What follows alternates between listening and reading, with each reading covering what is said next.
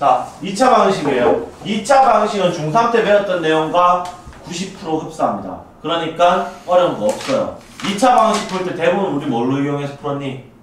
중3 때. 인수분해 이용해서 다 풀었죠. 맞죠? 인수분해 이용해서 다 풀었죠. 근데 이런 그 막 원초적인 계산 문제라기보다는 우리는 이제 뭘로 간다? 요령으로 많이 간다는 거야. 알겠어요? 자, 봅니다. 일단 쉬운 거 빨리 넘깁시다. 2차 방정식은 ax제곱 플러스 bx 플러스 c는 0꼴로 나타냈을 때 최고차항인 a는 0이 되면 안 되는 그러한 식입니다. 자, 이걸 보고 우리는 다항식이라 부릅니다. 그냥 알고만 계세요. 다항식이라 불러요. 됐죠? 자, 그래서 아, 다항식이나 항이 여러 개 있는 다항식이구나. 자, 이렇게 돼 있어요. 그래서 이걸 2차 2차 방정식이라고 합니다. 그 다음 2차 방식은 풀이 방법은 여러 가지가 있어요. 첫 번째, 인수분해 이용해서 풉니다. 우리가 일반적으로 대표적으로 풀던 방법이죠. 맞니? 두 번째 뭘로 이용해서 푼다? 근해 공식 이용해서도 풀어요. 근해 공식은 당연히 반근해 공식하고 둘다 알아야 됩니다. 맞죠? 근해 공식은 2a분의 마이너스 b 플러스 마이너스 루트 b 제곱 마이너스 4ac 반근해 공식은 a분의 마이너스 b 다시 플러스 마이너스 b 다시 제곱 마이너스 ac 이거 외워야 되죠. 맞지? 남들보다 조금이라도 빠르게 풀려면 그냥 필수인 겁니다. 필수. 그러니까 무조건 하셔야 돼요. 그냥 바로 문제 갑니다. 지금은 쉬운 거니까. 자, 봅니다. x에 대한 2차 방정식이 있어요. 근데 이거의 한 근이 1이랍니다. 우리 앞으로 풀 때 문제 있었죠. 근이 1이라면 x에 그냥 대입하면 되지. 맞니? 대입하면 되죠. 자, 대입합시다. 1 대입하면 얼마 돼요? a-1. 1 대입했어요. 마이너스 a제곱 마이너스 1 플러스 2a 마이너스 2는 빵. 이거 나옵니까?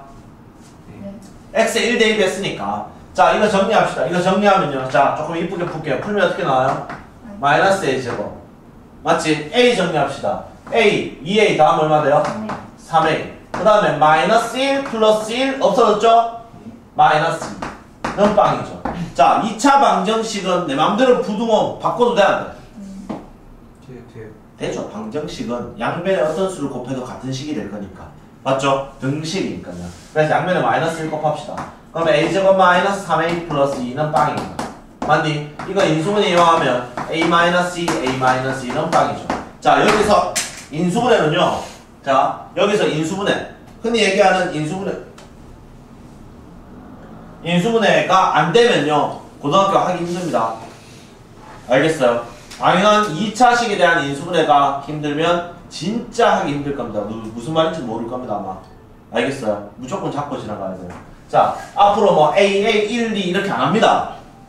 알겠어요? 한 줄로 그냥 바로 적을 수 있어야 돼. 그만큼 연습이 필요하다는 거죠. 자, 일단은 A는 얼마 돼야 돼요? 2 또는 A는 얼마인데? 1입니다. 그래서 이때 A 값 구하라 했기 때문에 답은 A 값, 자, 한 근도 구할 건데 A 값 2하고 1입니다. 라고 하면 틀려요. 자, 왜 틀렸을까요?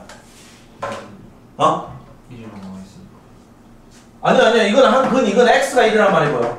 자, A가 2하고 A가 1로 나왔어요. 둘 중에 하나입니다. 너는 둘, 둘다 됩니다. 이 말이잖아, 지금. 내가 관식으로 따진다면. 근데, 다음은요, A가 1은 안 돼요. 왜 안 될까? 자, A에 1 집어넣어버리면요. 이게 지금 뭐 돼버립니까? 0 되죠? 근데 아까 우리 시작할 때 뭐라 했어? 2차 방정식은 최고차항이 0이 되면 안 돼요. 이거 만약에 0 돼버리면 우리는 이거 2차 방정식이라 부르면 안 되고 1차 방정식이라 불러야지. 맞아요? 실제로 여기는 1 집어넣으면 빵 되기 때문에 이것도 빵 돼버리죠. 맞죠? 그럼 망하는 케이스입니다, 이거는. 그래서 A는 1은 들어갈 수 있다, 없다? 없다. 이해되겠어요? 결론. 아, 그러면 쌤 이때 A 값 얼마입니다? 2입니다. 맞아요. 이해됐니? A가 2래요. 그러면 A가 2라 했으니까 우리는 뭘로 가자, 이제? 다시 집어넣어서 원래식 찾아야 되죠. 2 집어넣읍시다. 2 집어넣으면 얼마 돼요? x제곱 마이너스 3x 플러스 2는 빵입니까? 맞지? 어떻게 하다 보니까 이 식하고 똑같은 형태가 나왔네. 맞지? 자, 이거 인수분 하면 얼마 돼요?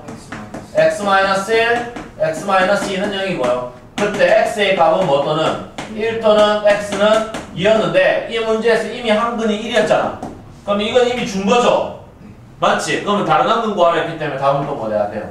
2. 그래서 여기서는 상수 A 값도 2고요. 다른 한 근의 값도 2가 됩니다. 이해되겠어요? 됩니까? 그 다음. 자, 두 번째 봅니다. 절대값 기호를 포함한 2차 방식. 망했죠? 맞죠? 자, 설명이 조금 길어질 수도 있어요. 봅니다. 절대값을 포함한 2차 방식. 이런 건 중학교 때 배운 적이 없습니다. 맞니? 됐어요? 한번 합니다. 절대값이라는 말은요, 항상 기준 잡으세요, 지금. 절대값이 나오면요, 절대값 안의 값이 0이 되는 숫자가 기준이야. 다시, 뭐라고 했어요, 내가? 어떠한 시기에 갑자기 절대값이 하나 나왔어. 맞지? 그럼 이 절대값 안의 값이 0 되게 하는 x의 값이 기준이라고요. 무슨 말? 요거 0 되게 하는 값은 뭔데요? 그냥 0이죠. 이거 0 되게 하는 값은 뭔데요? 그냥 1이죠. 얘는 x가 언제일 때고 0이면 이거 그대로 0 되고 여기는 x가 1일 때 뭐가 돼요? 안에가 0 돼요. 이해됩니까? 자 보세요. 그냥 펜 놓고 보세요. 이거 프레이 너가 지금 할 때 조금 헷갈려 하기 때문에 봅니다. 조금 귀찮아요. 귀찮다. 자, 내가 지금 잡았죠. 뭐가 기준이라고? x가 0일 때 기준. 자, 보세요. 봅니다.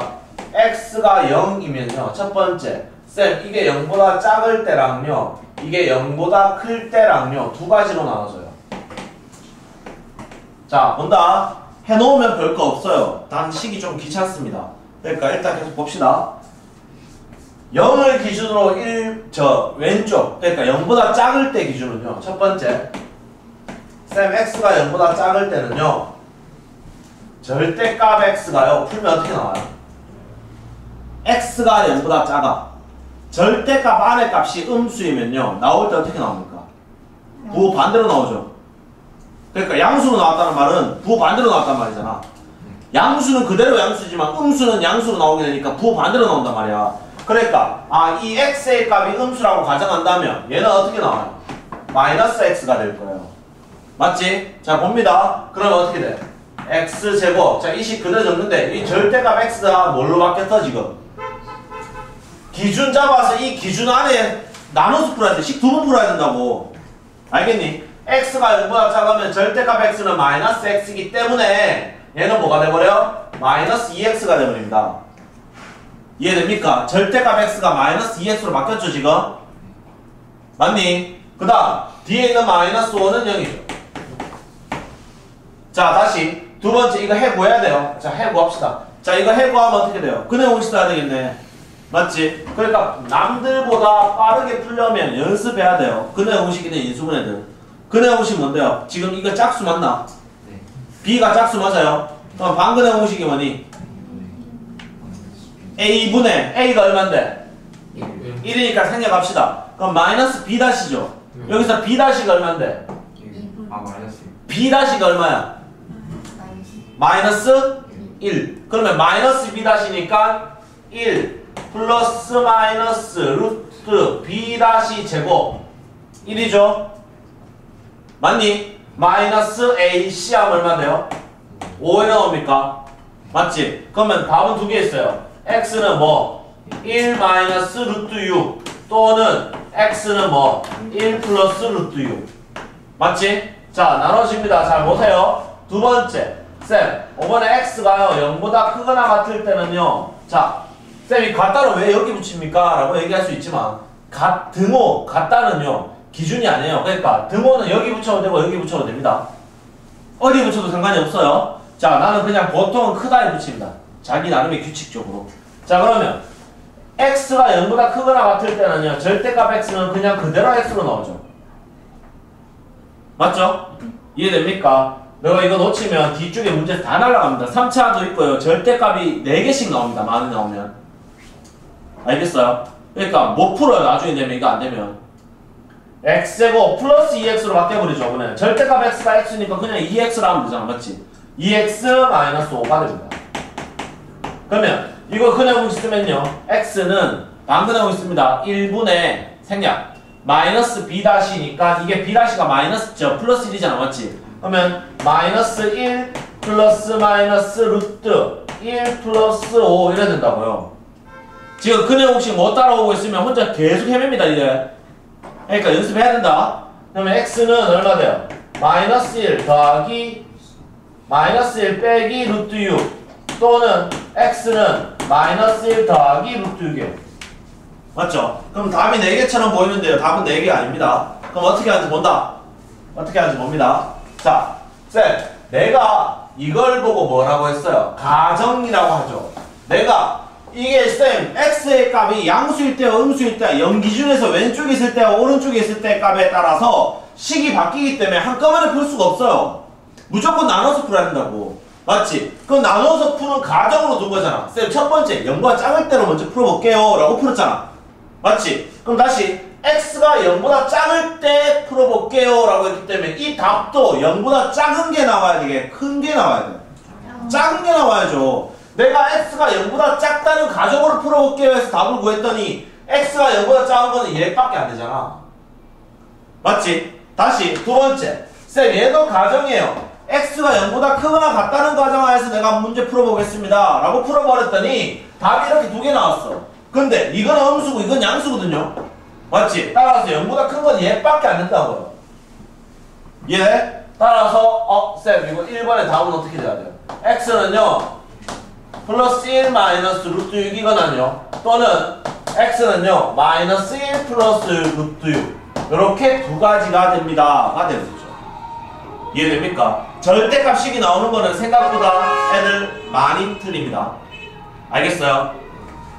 이해됐지? 자 2번도 한번 해봅니다. 2번. 자 2번. 2번은요 내가 기준이 뭐였어 오늘? 어 1이었어. 아내가 0이 되는 값은 x가 1이었단 말이야. 그럼 나눠볼게요 쌤 얘가요 1을 기준으로 첫 번째는 왼쪽에 있을 거고 두 번째는 오른쪽에 있다고 가정합니다 됐어요? 그러면 첫 번째 먼저 풉니다 x가 뭐보다 작을 때 1보다 작을 때죠. 자, x가 1보다 작아버리면요. 절대값 x-1은 아래가 음수예요, 양수예요? 음수죠. 맞니? x가 1보다 작은데 x에서 1 빼버리면 당연히 음수 나오겠죠. 이해됩니까? 자, 그러니까 얘는 풀 때 어떻게 나와? 마이너스 x 플러스 1로 나와요. 그럼 이 식 정리합시다. 이 식 정리하면 어떻게 돼요? x제곱 마이너스 3x는 마이너스 x 플러스 1 마이너스 2가 되죠. 이해됩니까? 자, 이것이 계속 정리합니다. 이항한다. 그러면 어떻게 돼요? x제곱 마이너스 2x 요거 마이너스 1이니까 넘어오면 플러스 1 됩니까? 맞아요. 정리합시다. 그럼 이거 어떻게 돼? X 마이너스 1의 제곱은 빵 이래 돼버리네. 맞니? 중분이죠? x는 얼마인데요? 1. 중분으로 나옵니다. 맞니? 자, 우리 바로 정리해 봅시다. 쌤, 아까, 아까, 문제 보니까요, 내가 x가 1보다 작다라는 뭘 두고 시작했어요? 가정을 두고 시작했잖아. 맞지? 근데 여기 뭐가 나왔어요? 1이 나왔죠? 그럼 이 부분에 해가 생기, 생깁니까? 안 생깁니까? 안 생기죠? 따라서 쌤, 첫 번째 형태의 답은요, 해가 없다. 알겠니? 해가 없답니다. 아까는 있으니까 하나 적어준 거야. 됐어요? 자, 그럼 두 번째, 오늘 풀어봅시다. 두 번째. 쌤, x가 1보다 크거나 같을 때. 됐니? 그럼 애들 여기서 생각하죠. 쌤, 같다. 아까 여기 붙여도 된다면서요. 맞지? 같다를 아까 여기 붙여도 된다면서요, 쌤이. 여기 놔두든 여기 놔, 둘 중에 아무 데나 놔둬도 된다 했거든, 내가. 맞지? 그러면 쌤, 같다를 여기 붙여버리면 이게 답이 있다 아닙니까? 답이 생겨야 안 생겨요? 생기죠. 같다를 여기 붙여버리면 x는 1보다 작거나 같습니다. 안에서 1은 있잖아. 맞지? 맞나? 그럼 답이 달라지는 거 아닙니까? 라고 하는데요. 그런 기준이 되는 값이 딱 나왔다, 답에. 얘가 1인데 답이 1이 나왔잖아. 그럼 여기도 1 나와요. 알겠니? 그러니까 어디에 붙어도 상관없다는 거야. 한번 해봅시다. x가 1보다 크거나 같으면요. 절대값 x-1이라는 놈은 어떻게 나와요? 그대로 나옵니다. 왜? 양수거든요. 이해됩니까? 그럼 풉니다 저거 그럼 저거 풀면 x제곱 마이너스 3x는요 x 마이너스 1의 마이너스 2가 되죠 맞지? 이항합시다 이항하면 x제곱 얘 넘어오면 마이너스 4x 되고요 이거 마이너스 3 넘어오면 얼마 돼요? 플러스 3은 0 나와요 그럼 이거 인수분하면 x 마이너스 1 x 마이너스 3은 빵 이렇게 됩니다 맞니? 따라서 쌤 여기서 해, 해는 어떻게 돼요? x는 1 또는 x는 3 이렇게 나오겠죠. 아까 내가 얘기했잖아. 기준이 되는 값이 답에 나왔다 하면요 무조건 양쪽 다 나오게 돼 있어요. 알겠니? 그러니까 신경 쓸 필요 없습니다. 그래서 등호 부- 붙이는 거는 보통 크다에 붙이세요. 그게 너가 계산할 때 편합니다. 자 그러면 여기서는 어떻게 돼? 지금 문제가 가정이 지금 뭔데요? x가 어 가정이 지금 뭐다? x가 1보다 크거나 같다잖아. x가 1보다 크거나 같다기 때문에 이거 안에서 나오는 답은 둘 다 되죠. 맞지? 둘 다 됩니다. 따라서 쌤 이거 전체 답은요. x가 1이거나요. 또는 x가 얼마입니다. 3입니다가 되버리는 거죠. 그래서 답은 x는 1 또는 3으로 됩니다. 되겠어요? 이해됩니까? 그 다음 자 2차 방식 활용 파트 문제죠. 그냥 바로 활용 나오죠. 왜냐하면 2차 방식은 우리가 배웠던 흔히 배웠던 중학교 3학년 때 문제가 1차이기 때문에 되겠죠. 지금 약간 변형된 거 하나가 있었어요. 뭐 있어요? 절대값이 포함된 2차 방정식. 맞죠? 절대값이 포함된 2차 부등식. 절대값이 포함된 1차 부등식. 이런 문제는요. 전부 다 뭘로 풀 수 있다? 이렇게 풉니다. 알겠어요? 그럼 애들이 얘기합니다. 쌤, 절대값이 식 안에 두개 나오면 어떻게 해요? 똑같이 풉니다. 절대값이 식 안에 만약에 두 개가 나왔으면요. 어떻게 정리하냐면 이렇게 되는 거죠. 봐봐, 그냥 얘기로 할게요. x제곱 플러스 x 마이너스 1 플러스 뭐3 마이너스 x 플러스 4 이렇게 나왔어요. 그럼 어떻게 돼? 기준이 몇 개 생긴다는 거야? 두 개 생겨요. 자, 이거 연대기 하는 값 얼마인데? 1. 이거 연대기 하는 값 얼마인데? 3이죠. 그러면 이번에는 이렇게 나옵니다. 자, 지금 안 나오지만 쌤 뒤쪽에 가서 봐줄 겁니다. 1 기준하고 1하고 3 기준 3 이렇게 3개 나와요. 이런 덩어리가 3개 나옵니다. 그럼 3개 나와서 똑같이 풀면 돼요. 그 아까 얘기했죠. 절대값이 두개 나오면은 범위가 몇 개야? 세번 정리해야 되지. 절대값 세개 나오면 네번 정리해야 돼. 맞죠? 절대값이 많이 나오면 많이 나올수록 그 문제는 흔히 얘기하는 쓰레기 문제입니다. 왜? 계산이 너무 복잡해지. 맞지? 원리만 알게 시킬 거면 절대값 두 개만 해도 충분하죠. 맞죠? 자, 일단 그렇게 나오는 문제이기 때문에 지금 오늘 어, 쌤 오늘 배운 것 중에 2차 방식 파트에 오늘 배운 것 중에 처음 본 거는 일단 정리해야 되겠죠. 다음에 안 까먹어야 돼요. 자, 그 다음 오른쪽 그림과 같이 한 변의 길이가 얼마다? 12다라고 나왔죠. 한 변의 길이가 10인 정사각형이라고 돼 있어요. 맞니? 정사각형 모양의 꽃밭에다가 요렇게 T자 모양을 눕혀서 만들어 놨더니 남은 꽃밭의 넓이가 얼마 됐다? 100이 됐답니다. 이거는 실제 중3 애들도 풀 수 있습니다, 지금. 맞죠? 그러니까 중2 선행한 애도 다 풀 수 있는 거죠. 왜냐? 요렇게 하면 되죠. 내가 요 그림 올리면 되잖아, 이렇게. 꽃밭을 이렇게 바꾸면 되죠. 이해됩니까, 지금? 그럼 이렇게 두 개 붙였어요. 그러면 일단 이 폭을 물었기 때문에 내가 이거를 x라고 합시다. 그러면 원래는 이게 x였지. 맞죠? 근데 이게 내려가 버렸으니까 이게 x가 되겠죠. 폭이니까. 맞니? 그러면 사각형 넓이 구하자.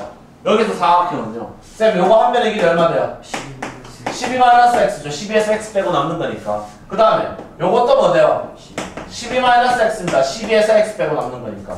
결론적으로 뭐가 나옵니다. 얘는 12-x를 띠는 정사각형이고 12-x를 두 번 곱했더니 넓이 얼마 됐다? 100이 나왔습니다. 라는 말이죠. 됐어요? 이제 끝났죠? 간단하게 계산 풀면 되죠. x제곱 마이너스 24x 플러스 144는 100 이렇게 안 풀고 제곱근으로 풀어도 됩니다. 혹시나 아는 사람. 쌤, 제곱근으로 한번 풀어줄게요. 일단 정리하면 x제곱 마이너스 24x 플러스 44는 빵 맞나? 됩니까? 자 이거 정리하면 어떻게 돼요? 2랑 20입니까? 그러면 x 마이너스 2, x 마이너스 22는 빵 따라서 x는 뭐밖에 안 돼요? 2밖에 안 되죠 22는 나올 수가 없어요 이게 10인데 폭이 22가 나올 수가 없으니 맞지? 요렇게 푸셔도 되고 그 다음 제곱근으로 풉니다. 제곱근으로. 우리 배웠어요. 12-x를 제곱하면 100이래요. 맞니? 어차피 얘는 제곱한 거니까 내가 뭐라 해도 돼요. x-12의 제곱은 100이라 해도 상관없죠? 맞죠? 이해됩니까? 자 이제 뭐 하자? 루트 씌웁니다. 그대로 그냥 x-12는 플러스 마이너스 10이죠. 맞니? 그럼 x는 어떻게 돼요? 12 플러스 마이너스 10이죠. 그러면 다음 두 가지 나오겠죠. 12 더하기 10 하면 얼마?